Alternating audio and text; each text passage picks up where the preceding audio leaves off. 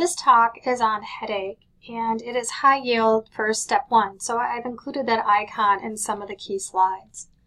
The objectives of this talk are to be able to distinguish between primary headache disorders and other secondary causes of headache. In doing so, you need to recognize red flags for these secondary headache disorders. You also need to understand the pathophysiology of migraine and review the most common headache disorders.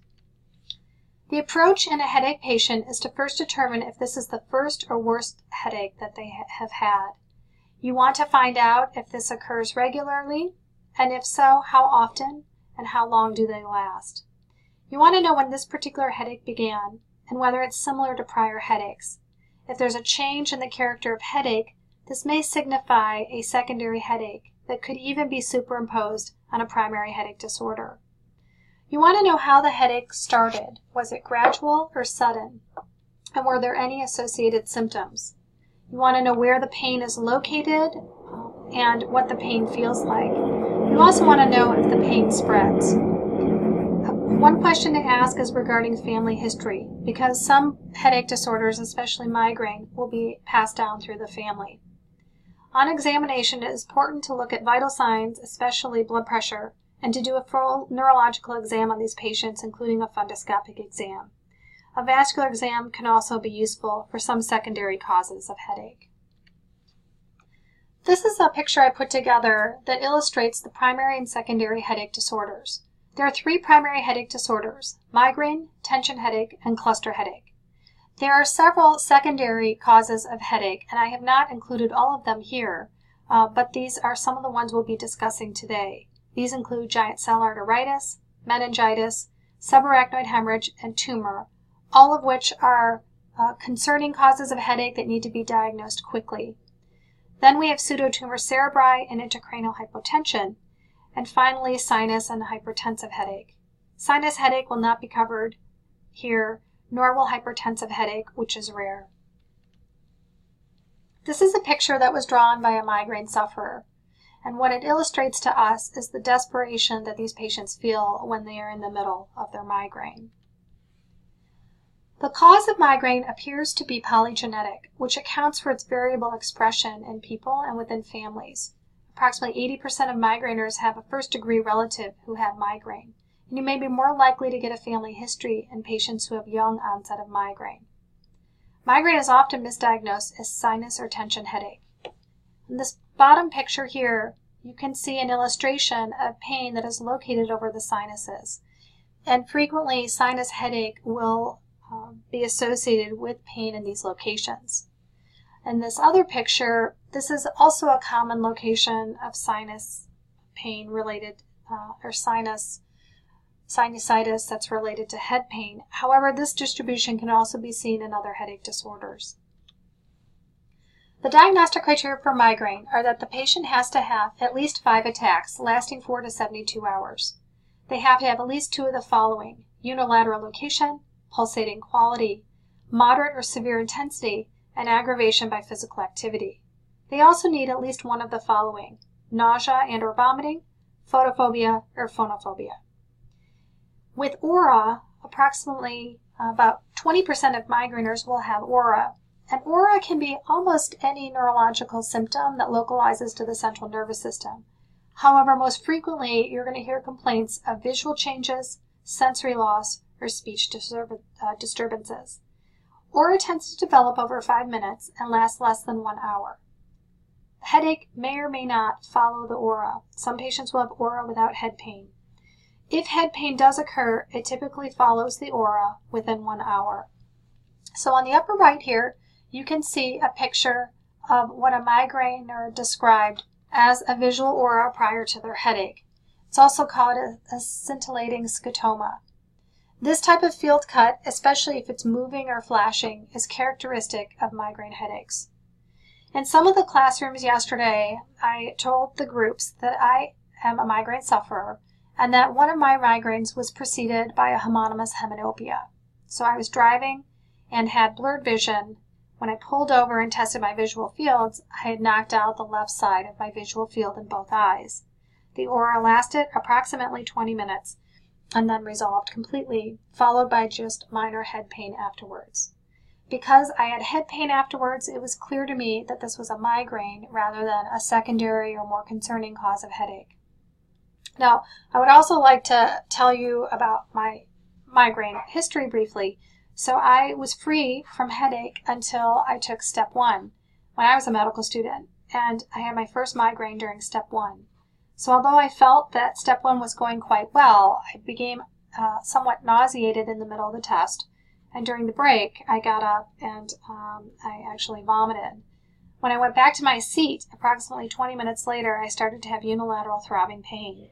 And I, although I thought it was quite interesting that I was suffering my first migraine, and I knew it was migraine because it ran in my family, it was quite unfortunate it happened during step one. Hopefully, this will not happen to you. So, what is the etiology of pain in migraine? So, it appears that there's activation of the central nervous system, and there may be dysfunction of brainstem pain and vascular control centers. As a reminder, pain perception is localized to the anterior cingulate cortex and the migraine generator of pain appears to be a combination of information coming from the raphe nucleus, the locus coeruleus, and the periaqueductal gray. We also know that irritation of local structures are responsible for migraine. You can have irritation of cranial nerve 5, of the meninges, of the blood vessels, and when this occurs, you will have release of several substances, including substance P, calcitonin gene-related peptide, and vasoactive peptides. Tension headache is the second primary cause of headache, and it's the most common form of headache. These medications often respond to over-the-counter medication, and they rarely require medical attention. On the right is a picture of a patient that shows the distribution of tension headache. It can be in the frontal lobe or in the occipital lobe, although you can have a tension headache pattern in almost any location. Many patients with tension headache will also have a history of migraine headache. These may be short or long lasting. They tend to be more than 30 minutes. Patients will have bilateral steady pain, and it can be a chronic problem or it can be a consequence of medication overuse. So, what happens with medication overuse is that if you regularly use over the counter medications, your brain will become used to having them essentially because of changes in regulation of the neurotransmitters. When you try to pull those medications away after you've been using them regularly, the brain will respond by uh, causing a recurrence of headache. This can become quite problematic, and it puts patient in patients in a cycle where they're using more and more over the counter medications. This can also happen when narcotics are used for head pain, and thus we generally tell our patients not to use nonsteroidals or narcotics for head pain, especially more than a day or two in a row. I will tell you too that medication overuse syndrome uh, as a cause of headache is very hard to treat because you have to wean patients off of all of their over the counters in order to fix this problem. And unfortunately, in the current climate, we're unable to admit patients to the hospital to do this. So this can be uh, quite a serious problem in the clinic. Cluster headache is our third uh, primary cause of headache, and it is the most painful of the primary headaches. These patients have severe unilateral orbital, supraorbital, or temporal pain, and it's associated with conjunctival injection, eyelid edema, forehead sweating, and miosis. Patients will describe a boring or knife-like pain lasting 15 to 180 minutes, and they will frequently have more than eight daily. Cluster headaches cluster over periods of weeks to months, followed by periods of remission. Drinking alcohol often precipitates attacks, and these patients can feel restless or agitated, and they will often pace. This behavior is opposite the behavior we see in migraines. Migraine patients tend to go into a dark room because they are phonophobic and photophobic, a dark, quiet room, and they tend to go to sleep. Cluster headache patients are exactly the opposite they have this kind of agitation, and so they pace around and they move, and this almost distracts them from their pain. Nausea and vomiting is uncommon with cluster headaches, and the, the, the pain that we see in cluster headaches is different in nature to that that we see with trigeminal neuralgia. So as you may recall with trigeminal neuralgia, you will have repetitive unilateral shooting pain in the distribution of cranial nerve 5 that can last for less than one minute. This is very different than what we see in cluster headaches which is located um, typically around or behind the eye, and it has a much different temporal quality to it. Here's a picture at the bottom that just reminds us that you can have conjunctival injection. And um, here again is the location that these patients tend to have pain. Now, some patients with cluster headache will report it as so severe that they want to commit suicide or jump out of a window during these episodes of pain. So this particular disorder is something that you want to treat aggressively. So I just want to comment about epidemiology, and we'll discuss the epidemiology of migraine because it's the most likely uh, primary headache disorder that you'll be treating in the clinic. So migraine is the most common cause of disabling headache of the primary headache disorders, and approximately 28 million migraine sufferers uh, are in the U.S mostly women, but men get this as well. Nearly one in four households has at least one migraine sufferer, and the migraine prevalence peaks between 25 and 55 years. The first attack tends to occur in patients' teens or 20s, and it is uncommon to have first attack after the age of 40.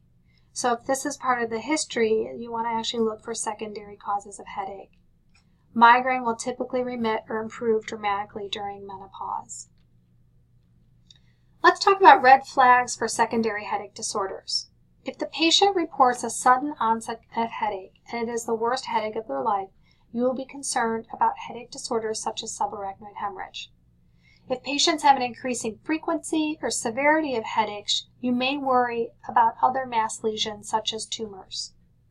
An older age of first presentation is unusual for the primary headache disorders, so you would look for a secondary cause. A headache caused by Valsalva maneuver, such as coughing, sneezing, or straining, may signify that you have a mass or another lesion within the brain causing the headache. If the headache wakes you up from sleep, this is not typical of primary headache disorders and you would need to look for secondary causes. Finally, if there is a history of HIV, cancer, or head injury, you want to again look for a mass lesion. Concerning exam findings for secondary headache disorders include fever, neck stiffness, and rash, and these would be associated with meningitis. Focal neurological findings would tell you that you may have a mass lesion.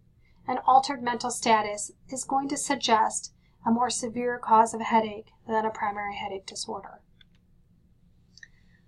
Meningitis, it presents with a headache that is generalized and can be pulsatile. It can be associated with nausea and photophobia, and it escalates rapidly. The key for meningitis is that there will be prominent neck stiffness, especially with flexion. And in many cases, you are unable, if the patient is laying flat, to lift the head off of the bed, even if the patient has a change in consciousness. Fever is prominent in this disorder. So this is a picture on the bottom right of a patient with a Neisseria meningitidis and some of these patients will have skin abnormalities to give you clues to etiology. Subarachnoid hemorrhage we have covered already and is frequently due to an aneurysm rupture.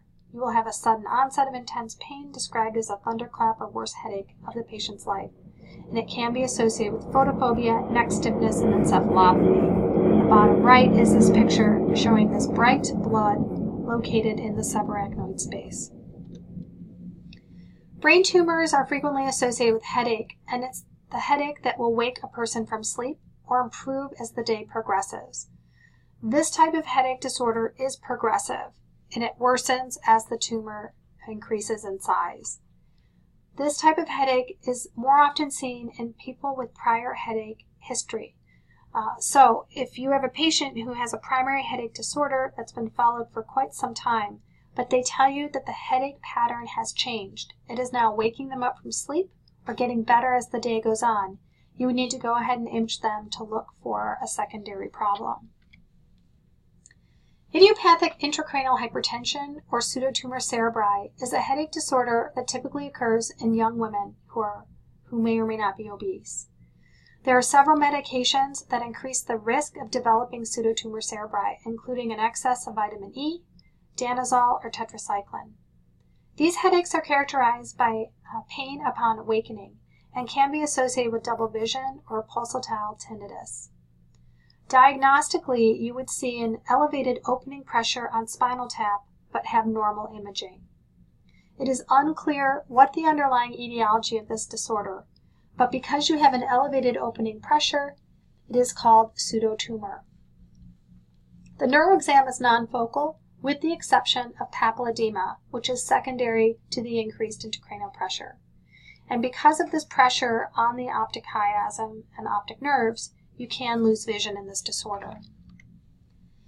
This disorder needs to be recognized because the loss of vision can be permanent, and again, this disorder occurs in younger individuals. Weight loss can help if the individual is obese, and there are some medications we use, such as acetazolamide and topiramate. If the disorder remains refractory despite oral medications, the patient can have repeat lumbar punctures, CSF shunt placement, or optic nerve sheath fenestration surgery in order to save the vision. Intracranial hypertension or post-LP headache is a low-pressure headache that is usually caused following a lumbar puncture where there's a tear in the dura. It is sometimes unclear who will develop this side effect of a lumbar puncture, so we typically tell patients about this when we're consenting them for the procedure. The pain appears generalized and diffuse, but can be dull and throbbing in nature, and it always gets worse or appears when they're standing. The patient's pain will resolve when they're laying flat. So this particular headache, although it may be um, difficult in isolation to diagnose, always comes with a history of a recent lumbar puncture. Now the reason I have a Diet Coke here is that one of the treatments for a post-LP headache is caffeine. So I will actually have my patients drink caffeine prior to the procedure in order to reduce the headache afterwards. Although there is not good data to suggest that this is helpful, uh, it is a benign way that we can try to prevent the symptoms. Giant cell arteritis is a secondary headache disorder that occurs in patients over the age of 55. Patients will present with pain and tenderness over the scalp. They may also have fatigue, low-grade fever, or weight loss. This is a systemic illness that affects the medium-sized arteries, and essentially you have inflammation of the artery. Giant cell arteritis is when you have an inflamed temporal artery, and because of the distribution of blood supply, you can lose vision if misdiagnosed. The way we diagnose this disorder is by taking a biopsy of the temporal artery and looking for inflammation. Again, you want to diagnose this and treat the arteritis, usually with steroids, in order to save vision long term. In summary, primary, primary headache disorders should be distinguished from secondary causes of headaches. Cluster, tension, and migraine headaches are primary headache disorders that are distinguished by their distribution, by their pain quality, and their temporal qualities as well. Intracranial hypotension and giant cell arteritis are secondary headache disorders that can cause a loss of vision and should be recognized early. And of course, you want to make sure you're looking for red flags so you don't miss a mass lesion or other cause of headache.